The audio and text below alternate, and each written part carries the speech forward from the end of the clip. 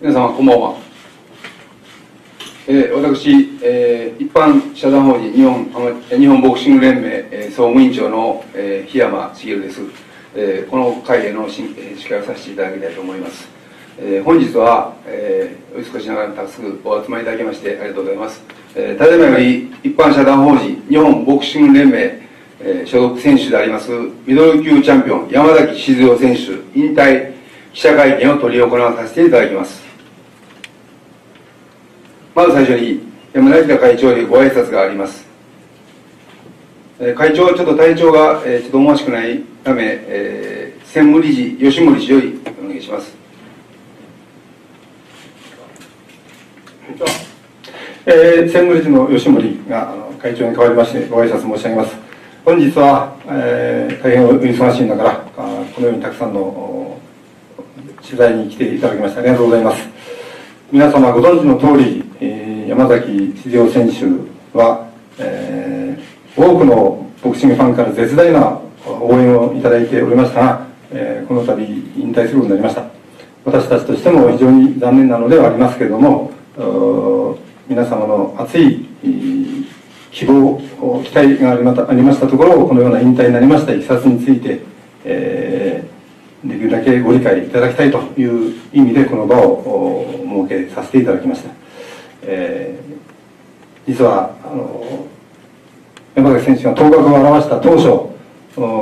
会長をはじめ私たちが付き添って韓国にスパーリングに行ったことがございます。その際はあの会長がと私がセコンドをして、えー、山崎選手を励ましながら、いい試合向こうのランカーと選手だったんですがあのいいスパーリングをした思い出はあります、まあ、その他多くのいろんな記録のことを今までのいきさつのこといろんなことがあると思いますので今日は皆さんによくあのご理解いただきたいと思っております。よろしくお願いいたします。ありがとうございました。えそれでは早速ですけれども山崎選手より引退に、えー、際しまして皆様に一言お話し願います。よろしくお願いします。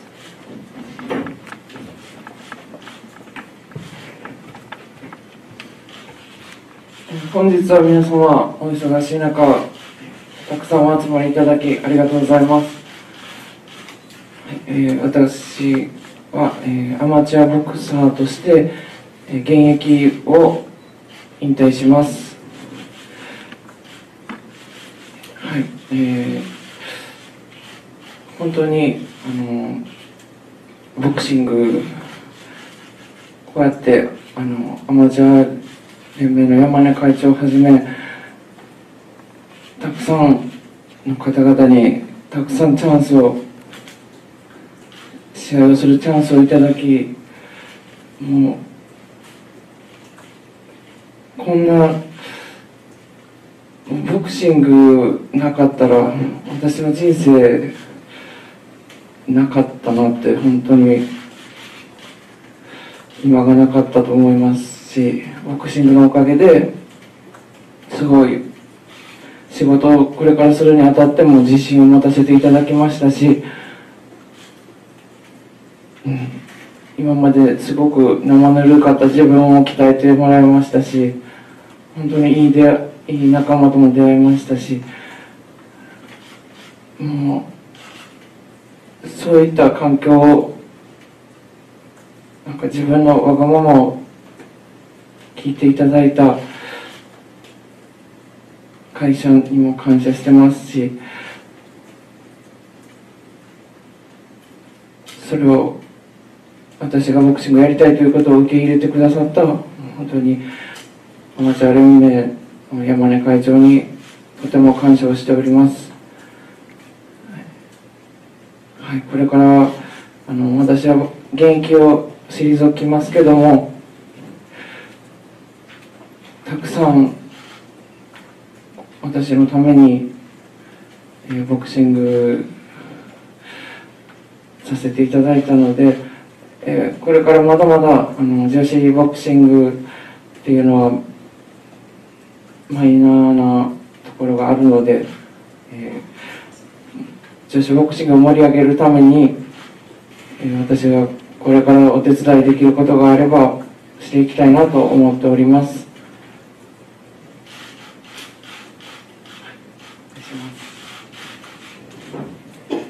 ありがとうございました。えそれでは、えー皆様方の、えー質問の時間を取りたいと考えております。よろしければ、えー手を挙げていただいて、えー聞いていただけたらなというふうに思います。どなたかよろしいでしょうか？はい。何か、えー質問、はい、どうぞお願いします。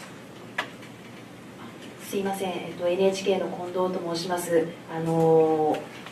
山崎さんにあのお伺いしたいんですけれども、今回あの現役の引退を決意されたあの理由を教えていただけませんでしょうか？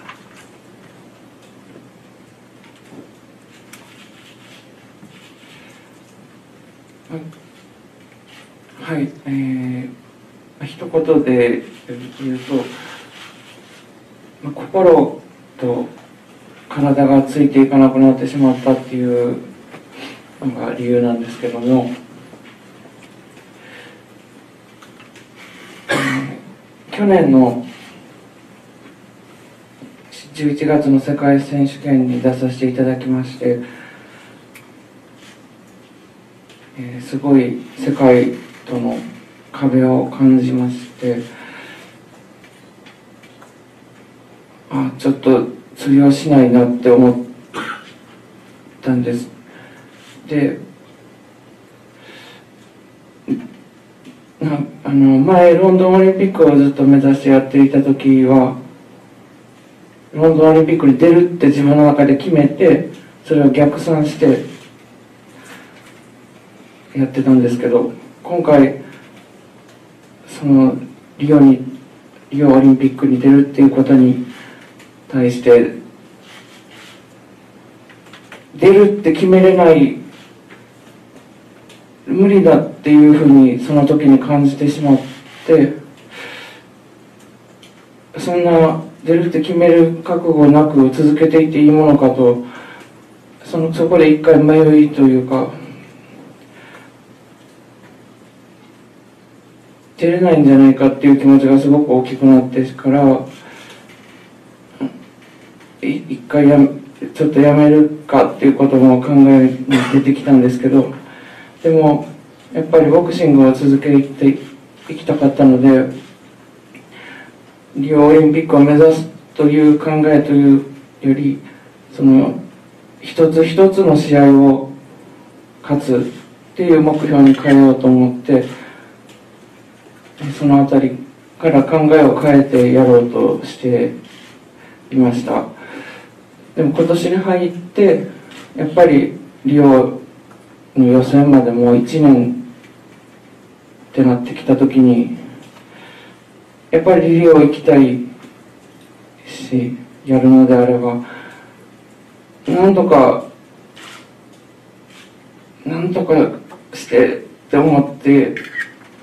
気持ちをこう持ち上げようとしてやっていたのですがだんだん今年の4月ぐらいからちょっと体調を崩し始めて練習してもちょっとすごく吐き気が起こったり過呼吸が起こったりっていうのが頻繁になってあまり練習にならないという日も多くなってきて精神的に、うん無理やりなんとかやろうとしてたのがやっぱり体にも出てきちゃって練習にならなくななったので一回ちょっとそれそれが長いこと続いたので5ヶ月ぐらい続いたのでボクシングから離れようと思って8月ぐらいからもう一回離れたんです。それでもし離れてまたやりたくなったら人間はやりたいところに必ず戻ると思ったのでもしそのままやりたいと思わなければそのままやめようかなと思いましてそこから離れて今に至るんですけども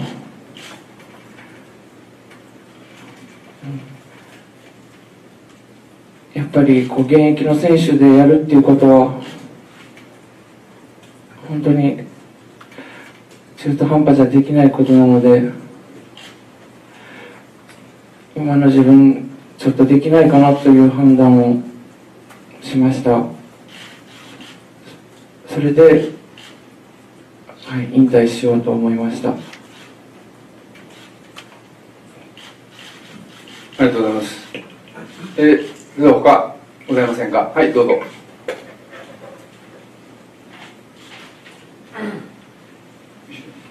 後ろ後ろです。後ろの。と朝日放送の佐藤と申します、えー、山崎さんに質問で、えー、ボクシングを、えーまあ、これまでされてきた中で、まあ、いろんな試合があったかとは思うんですけども一番印象に残っている試合とあとボクシングをしていて一番まあ良かったなというか思い出に残っている出来事と何かあれば教えてください。えー、2012年のオリンピック予選の世界選手権での一勝が私の中でやっぱり一番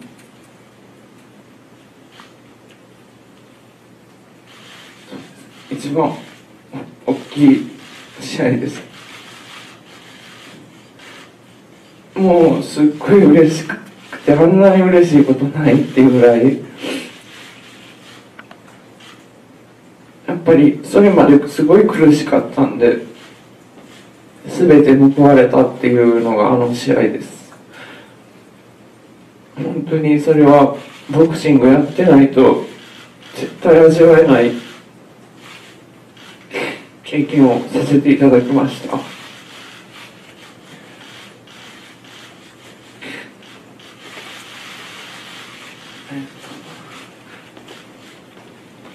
あもう思い出思い出。まあその世界選手権の一生は本当にとにかくそれなんですけど思い出としても一番大きかったです。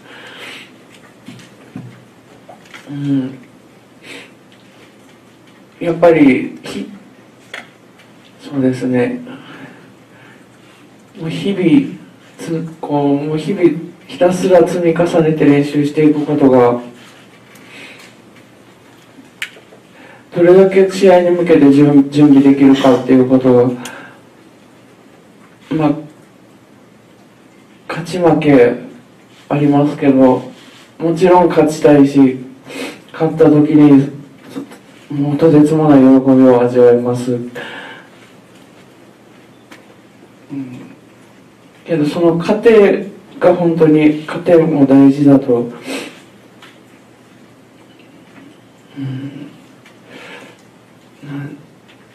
うですね。なんかもうボクシングのなんすもう勝つために毎日どう生きるかその練習ももちろんそうですし行動の取り方これは自分は勝ちに向かっているのかっていうのを毎日自分をと向き合うっていう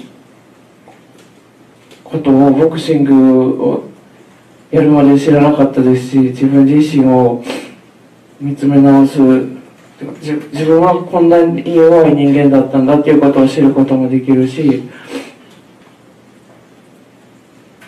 うん、そういう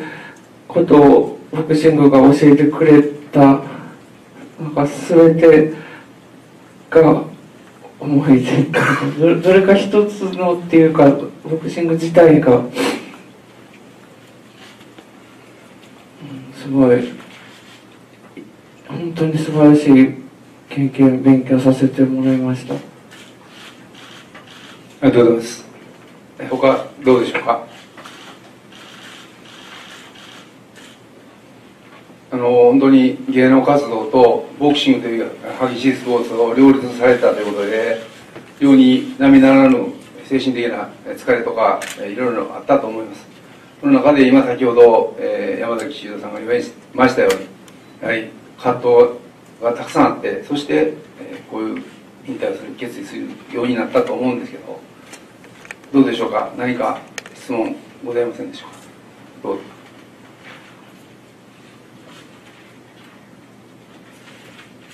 えっと、山崎選手にお伺いしたいんですけれども、えっと、今後芸能活動を続けられていくと思うんですけれども、えっとまあ、どんな活動をしていきたいかというのをお伺いできればと思うんですけど。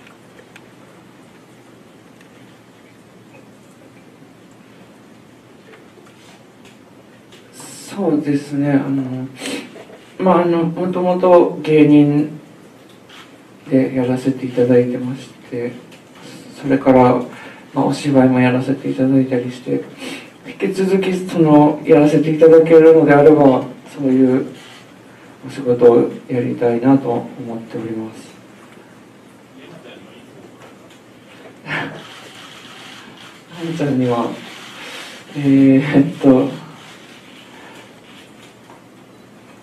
3日前ぐらいですかね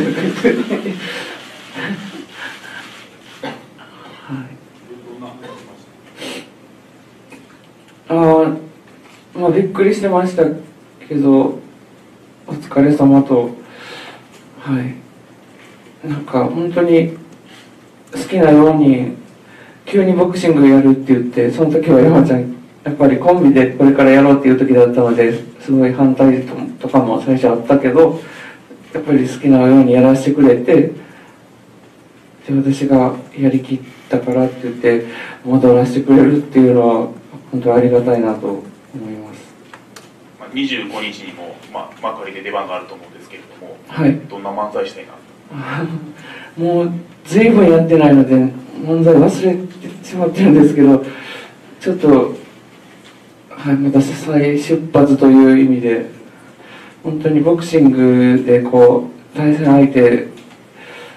が今いなくなった分一人に集中してあの眼鏡を中心にちょっと殴っていきたいなと思います。ありがとうございますありがとうございました。先ほどはいお願いします。えー、山崎選手に伺いたいんですけれどもあの、えー、一番の思い出としてあの予選のことを挙げられてましたがあのえっとまああの今振り返ってみてまあなんかこうこれ、まあ、まあオリンピックに出るってあの決めて、えー、やっていたっておっしゃってましたけどそこら辺こうなんか今悔いとかってございませんか？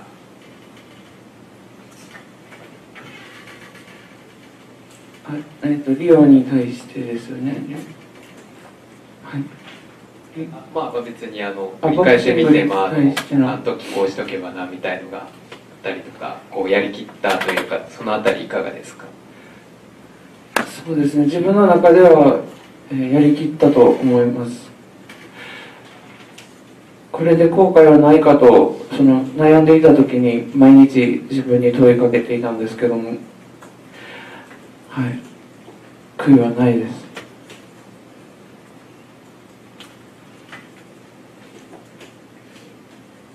あとすみません。今あの、えー、漫才の話も出てきたんですけれども、まあ、この、えー、ご経験が今後どう生かしたいというかもうちょっとあの具体的にあればなんか教えていただけますか？そうですね。やっぱりもう本当の殴り合いを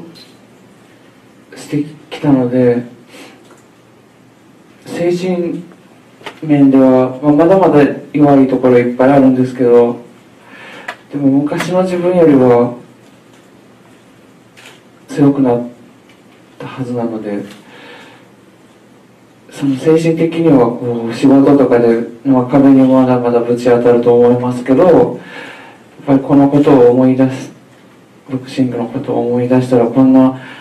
これぐらい乗り越えるっていう自信になるかなと思いますね。そういうん、あとやっぱり